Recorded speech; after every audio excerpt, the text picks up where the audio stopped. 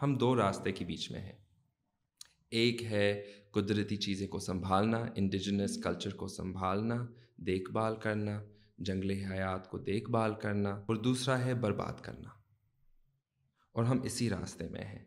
आज के एपिसोड में we are joined by Zulfikar Ali Bhutto जो कि एक टेक्सटाइल आर्टिस्ट और वाइल्ड लाइफ एक्टिविस्ट हैं। Actually this is a class based masculinity जो भी सबसे मगरबी हैं वो इसको फॉलो करते हैं। कि सफ़ेद शलवार कमीज पहनो बटन यहाँ तक बंद करके मतलब ज़्यादा कढ़ाई ना हो। ज़्यादा कढ़ाई ना हो आप ब्लेज़र पहन के जाओ आपके सूट लेदर की लोफर्स होने चाहिए। हम बात कर रहे हैं about his decision to move back home about toxic masculinity and how we take our ecosystem for granted welcome to another episode of out of the box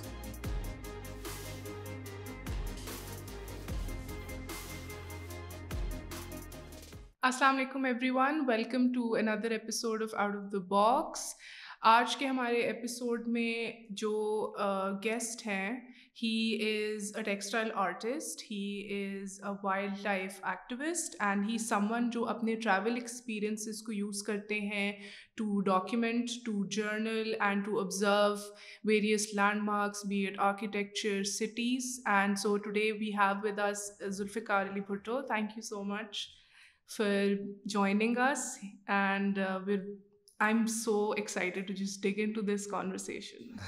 Thank you so much. आपकी आपकी बड़ी बड़ी मेहरबानी है कि आपने मुझे दावत दी एंड uh, आपके इंट्रोडक्शन के लिए बहुत बहुत शुक्रिया and landscapes and archi- sorry architecture and landmarks landmarks उसके you know ख़ास तौर पर natural landmarks मेरा अभी interest बहुत बढ़ गया है you know especially जो हमारे सिंध के जो सिंधु दरिया के पुराने कुदरती रास्ते जो होते थे now I'm really researching researching that. So I'm glad you brought up. That. Yeah, we, I'm, I have a lot to ask. Oh, you do. do I do. I do. We will definitely. Fantastic. So I just want to start off with something simple. Huh? Yeah, yeah. So let's go. Let's rewind. Let's. I'll just say thanks. so I. तो शुरू करते कि what inspired your art practice? So like how did you find yourself fully invested in Sindhi embroidered work yeah, yeah. where you're weaving stories quite sure, literally sure, and yes. symbolically as well well you know um, it all started जब मैंने art शुरू किया था मैं हमेशा textiles को reference कर रहा था खुद ही नहीं कर रहा था और टेक्सटाइल्स भी नहीं इस्तेमाल कर रहा था, मगर उसमें रेफरेंसेस होते थे यू नो डिज़ाइन में पैटर्न में you know in all these different things फिर ग्रेजुएशन के बाद एक्चुअली मेरी ग्रेड स्कूल के बाद यू नो एजुकेशन के बाद I started looking up embroidery videos online and on Instagram I would see people's different embroidery videos and I got inspired and I thought मैं तो ये नहीं कर सकता हूँ you know this is for like हमारे दादा हमारे ना हमारे नानी हमारे दादी उन, उनके काम है उनकी मेहनत है हमारी नहीं है then I thought actually why not why can't I I should just try and I tried मैंने actually magazines के ऊपर शुरू की um, so National Geographic magazines उनके ऊपर मैंने uh, कढ़ाई का काम सीखा And um, um, it was really interesting because it was a way for me to handle anxiety, uh, weight, and I really understood the meaning of sabr. Yes. the meaning of sabr, which I think is very, very, is more important than than we give it credit. Mm-hmm. Or hamare hamare jo dunya mein, you know, everything we want everything in a fast-paced manner. Um, so you know, it helps you it grounds you फिर uh, मैंने मुसलमान muscleman series शुरू किया 2016 में। And I found this book actually here in Lahore on Mall Road और एक Arnold Schwarzenegger exercise book की तर्जुमा था। And it was so interesting मतलब उर्दू अल्फाज और ये अमरीकी मर्द you know and the combo you know and मैं उस वक्त अमेरिका में रह रहा था। सो so, अमरीकी लोग के लिए एक एक्सेस पॉइंट था कि वो भी सब जानते थे कि आर्नोल्ड श्वार्ज़नेगर कौन था? मैं कैलिफ़ोर्निया में भी रह रहा था वो वहाँ के गवर्नर था।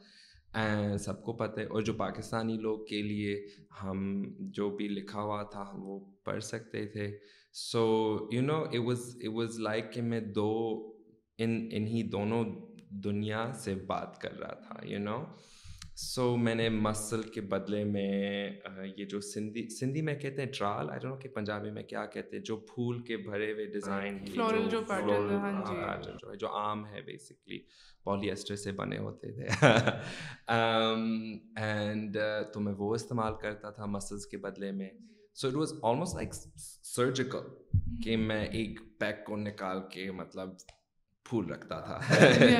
And so that was that was really fun फिर उसके बाद you know I really accelerated you know I really went into what I call really so I started मतलब patchwork जो काम है तो मैं patchwork मैंने मैंने वो भी शुरू की applique जो जो कि अंग्रेजी में कहते हैं applique और मगर मैं I don't call them artworks I call them really मैं रली बनाता हूँ। बनाते हैं। रिली बनाता हूँ। मतलब ये ये वर्ड सबको इट्स अ कॉमन वर्ड तो हर एक को पता है। It's a common word and I think art world में लोग समझते हैं और समझना चाहते हैं कि इनकी आर्ट एक मुकद्दस चीज़ है।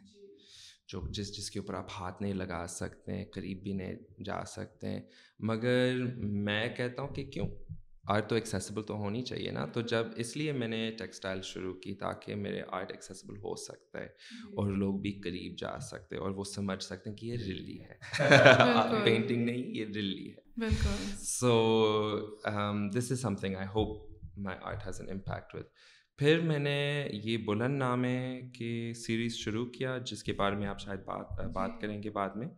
Um, बस मैं ये कहना चाह रहा था कि फिर मैंने ख़ास तौर पर सिंधी जो स्टाइल है सिंधी टांका हुरमिचो जो क्रॉस शेप है I got really into that and in heavy heavy embroidery तो some pieces are very very big मगर जो बड़े बड़े हैं वो उसमें उस पर एम्ब्रॉयडरी नहीं होता मगर जो छोटे छोटे हैं वो एम्ब्रॉयडरी के अभी भरे हुए हैं and I am really enjoying the process glad you brought up uh, mus, uh, मुसलमान मसलमन सीरीज़ क्योंकि uh, मुझे I was trying to grasp कि ये है क्या? And it's like I had to dig into like I had to do a lot of research. तो जब मुझे पता चला कि ओके okay, इसका कॉन्सेप्ट ये है कि आप रीडिफाइन uh, करें आइडेंटिटी को स्पेशली जो ये टॉक्सिक मैस्कुलिनिटी का कॉन्सेप्ट है। सो so, um, सवाल ये है कि लाइक इट्स वेरी टफ किसी ट्रेडिशनल uh, वैल्यूज़ जो काफ़ी डेकेट से सेट हुए हैं उनको चैलेंज करना एंड थ्रू योर बी एड थ्रू आर्ट और एनी अदर मीडियम टफ होता है चैलेंज करना. So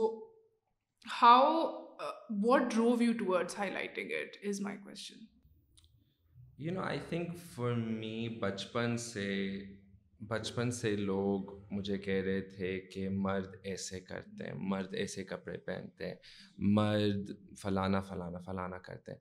मगर जब मैं गाँव जाता था लो जो मर्द जो वहाँ के थे वो रंग बिरंग कपड़े पहने हुए थे एम्ब्रॉयडरी के बनियान पहने हुए थे और बालियाँ भी पहनते थे एंड ख़ास तौर पर हमारे दरगाहों में खाजसरा भी मौजूद होते थे और होते भी हैं एंड फिर फिर मुझे सोचने लगा कि actually this is a class based masculinity जो भी सबसे मगरबी हैं वो इसको फॉलो करते हैं। कि सफ़ेद शलवार कमीज पहनो बटन यहाँ तक बंद करके। मतलब ज़्यादा कढ़ाई ना हो। ज़्यादा कढ़ाई ना हो। आप ब्लेजर पहन के जाओ आपके सूट लेदर की लोफर्स होने चाहिए। तीन बेसिक कलर्स हैं तीन basic black grey beige beige चलो। And and I realise that this was ये एक इंडिकेशन ऑफ़ क्लास था।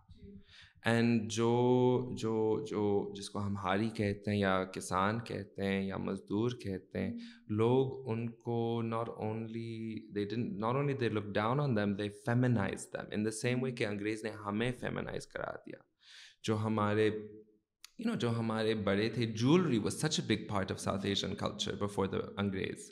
फिर they said this it's was vulgar for man and for women right so इसलिए मैंने इस मुसलमान muscle this project I started it to reinvestigate कि हमारी सोसाइटी में इतना कल इतने कलर्स हैं and there is such a softness in all relationships you know in all friendships there's a softness you can't enter a relationship with a brute force you'll never make friends right तो हर दोस्ती में एक एक नरम है और मैं उस नरम को दिखाना चाह रहा था even in muscle man even you know even in sports man even in even in these types of society there is a, a softness there's a femininity you know which i think is we have to you know realize that Yeah, that's actually that makes sense. क्योंकि जब मैं फिरती हूँ like हम बाज़ार में फिर होते हैं कहीं तो वी सी समवन किसी की शलवार कमीज का कलर कोई नियॉन शेड है कोई कुछ हो and we are quick to you know इतना इनग्रेन्ड है हमारे अंदर we quick to point out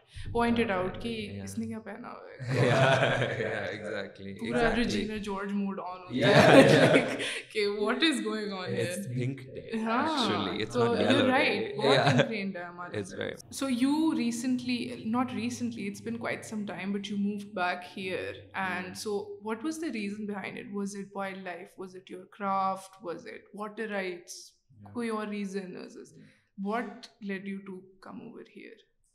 Um, I remember one day किसी ने मुझे कहा था कि as a diaspora artist Oh, आप immigrant. and मैंने कहा क्या मतलब डायस्पोरा मैं तो अमरीकी नहीं हूँ कि आप मुझे डायस्पोरा कह सकते हैं and then I realise actually I I been living here for so long I have been living here for so long. My connection with my home was really thinning, and I was becoming very isolated, and I was very lonely.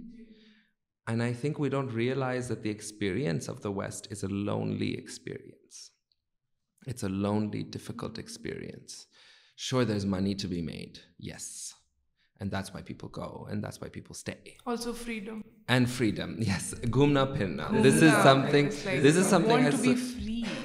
This is we want to be free. Ye bihe hai, gumna pinna, and I don't discount this at all. I think every सबका हक है घूमना फिरना सबका हक है जो भी पहनना चाहते हैं पहनो और सबका हक है जो भी जिस ज- जो भी आप believe करते हैं वो believe करें and this is these are things that in Pakistan we are working towards um, and uh, so this is something as well but I really felt lonely there and I realized there was so much happening in Pakistan um, there was so much happening in my own family. There was so much happening in sin. There was so much happening with the river Indus that made me furious.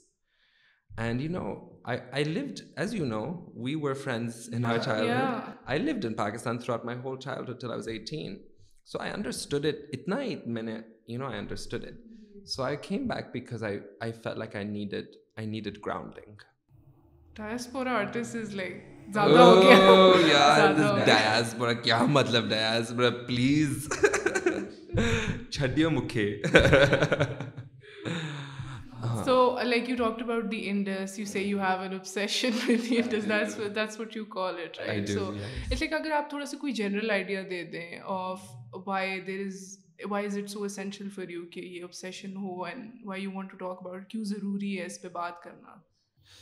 उफ हमारे सिंधु माता सांस लेती है। हर रोज सांस लेती है। ज़िंदा है।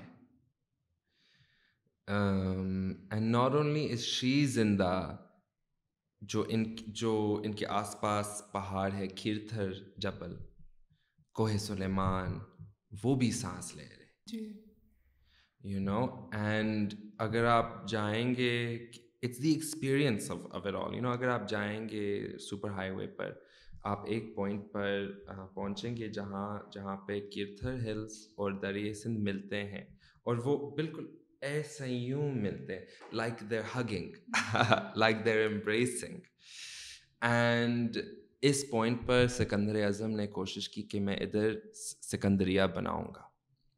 फिर जो वहाँ के मोहाना हैं बोट पीपल हैं इंडिजिनस बोट पीपल हैं उन्होंने उसको बघाया तो हमारे एक प्राउड हिस्ट्री है you know and the Indus anything we have to the food on this table because of the Indus. The, clo- the cotton, Pakistani cotton, Multani khadar, right? Sindhi cotton. This is the wealth of the Indus. The rice we eat, the wheat we eat, the tamatar we eat pyaz we eat this is ये दरियाई सिंध की दौलत है। So why are we so ungrateful ये तो हमारी माँ है। और पूरी सिस्टम हमारी माँ है। ये नहीं है कि सिर्फ़ सिंधु माता है। उसके साथ झेलम है उसके साथ चेनाब है उसके साथ रावी है सतलज है ब्यास है। कितना हमने उनको सत्यानाश किया we taken them for granted and I thought you know people say people say कि जो पंजाब है वो पानी होर्ड कर रहे हैं। नहीं। दस्टैब्लिशमेंट इज़ होर्डिंग वाटर जो पा जो पंजाबी आवाम है वो भी सफ़र कर रहे हैं। यू you नो know, वो भी नुकसान में है। अगर आप जाएँगे लाहौर अपना इस्लामाबाद से Lahore you pass all of the rivers there so dry and way so far upstream there is an injustice happening to our river and another thing actually which i think is really important to point out you know we say कि हमें dam बनाने ताकि हम पानी को store कर सकते हैं मगर अगर आप देखेंगे for the last twenty years the capacity of the dams has been going lower and lower and lower क्यों our whole water system relies on clouds, rain, right? And the clouds form in the sea and then they go to the mountains. मगर वो कैसे जाते हैं mountains की तरफ they need the river to guide them they agar jab jab clouds form karte hain samandar mein you know they need another source of water jo ki wo mil sakte hain aur then they wo usko follow karte hain and then they rain in the hills and then the water comes back to the sea and then it goes up and then it follows the river a cycle so since 1972 we've broken that cycle pakistan has been in a drought since 1972 believe it or not so if you think that you're going to store water in Punjab and stop water from going to the sea, you are wrong. The water in Punjab will finish if you don't let the water go to the sea. खुदा खुदा ने ये बनाया था ना दरियाई सिंध तो हम कौन हैं कि इसको रोकें This is why I love the Indus. You've put it very nicely, precisely, really nicely. So you also do a lot of on-ground work in Sindh, and you talk about it on social media as well. So what do you have to say about the conservation work in Pakistan in general? You know, conservation work in Pakistan, there's so many people जो कि बहुत बहुत बहुत बहुत मेहनत कर रहे हैं you know Sindh wild life department के अंदर प्राइवेट ऑर्गेनाइजेशंस के अंदर भी डब्ल्यू डब्ल्यू एफ के अंदर भी और पंजाब वाइल्ड लाइफ डिपार्टमेंट के अंदर भी खैबर पख्तूनख्वा के अंदर डिपार्टमेंट के अंदर भी। And I had the privilege of spending weeks with a lot of these people when I did the dolphin survey हम मियाँ वाली से गाजी घाट तक गए थे कश्ती के ऊपर विदाउट अ मोटर अच्छा। So we were going thirty kilometres a day जो कि आप गाड़ी में आधा घंटा में कर सकते हैं। Um, और हम दरिया के बिल्कुल बीच में रह रहे थे जजीरों के ऊपर। So, you know, how can you not fall in love with this landscape? It's immense. The, the river Indus in Punjab is 30 kilometers wide. Like, you know, it's mind boggling. So, anyway, so, the, you know, I spent a long time with a lot of these conservators doing this, this research. और ये लोग बहुत मेहनत कर रहे हैं बहुत मेहनत कर रहे हैं वाइल्ड लाइफ के लिए और um, हमारे माहौल के लिए और जंगली हयात के लिए and the problem is they run into इनका मेन मसला ये है लालच और गरूर। कि जो भी पावर में है वो एडमिट नहीं करना चाहते हैं कि वो गलत रास्ता की तरफ़ जा रहे हैं। वो वो तो बिल्कुल फंसे हुए हैं कि नहीं हम सही कर, कर रहे हैं। अंग्रेज़ के दौर से अब तक हम सही कर हमें हाथ लगा सकते हैं exactly so they can't admit ये गरूर है। जी। Right right? और ये इस्लाम में भी मना है। एंड एक एक तो गरूर है, एक तो लालच है right we we want to squeeze from our landscape अगर आप सिंध जाएँगे, हमारे खूबसूरत पहाड़, हमारे खूबसूरत जबल अड़ोड़ में कीर्थर में, नंगर पार्कर में, वो ख़त्म होते जा रहे हैं। They are minding them they are taking them away Sindh is for sale our water our mountains हमारे पानी हमारे पहाड़ हमारे लोग भी हमारे जानवर भी। um, तो जितना भी मेहनत हम करते हैं हमारे जो दुश्मन है वो लालच और गुरूर है और वो कितना मज़बूत है। इनके पास इत, मतलब इतना ही ताकत है आप तस्वर भी नहीं कर सकते। So this is something that's very sad there so much कि हम तो बेसिकली हम दो रास्ते के बीच में हैं। एक है कुदरती चीज़ें को संभालना इंडिजिनस कल्चर को संभालना देखभाल करना जंगली हयात को देखभाल करना राइट दैट्स वन रास्ता। और दूसरा है बर्बाद करना। और हम इसी रास्ते में हैं। But we can turn we can turn and we can go this way so I pray every day for this या इससे मुझे याद है कि मतलब I think it's like a couple of episode before हम जब हिस्ट्री की बात कर रहे थे सो वो एजुकेशन सेक्टर की हम वैसे बात कर रहे थे बट किसी भी जगह पे अगर हम हिस्ट्री को देखें और उसकी कंजर्वेशन की बात करें, ठीक है, बेशक वो लैंडमार्क्स हो, बेशक हम एजुकेशन सिस्टम की बात करें, कोई भी स्फेयर में अगर हम बात करें तो हम उसकी उस तरह रिस्पेक्ट नहीं करते। कि वो कितनी इनवैल्यूबल है हमारे लिए हमारी history and not besides just relearning और trying to you know maintain it बहुत ज़रूरी है कि we are vocal about it how important and how invaluable history is to us completely yeah So, um, talk, coming back to your work, so how did Bulhan Name or Name come to life? um Like, tell us about this project. yeah so it all goes back to when i was 14 जब मैं Oh, चौदह साल का था। We will be back with the second half of our conversation next week अगर आपको ये episode पसंद आई है तो लाइक करें और अपने दोस्तों के साथ शेयर करें। कमेंट्स में अपनी थॉट्स बताएँ और माटी टीवी को सब्सक्राइब करें।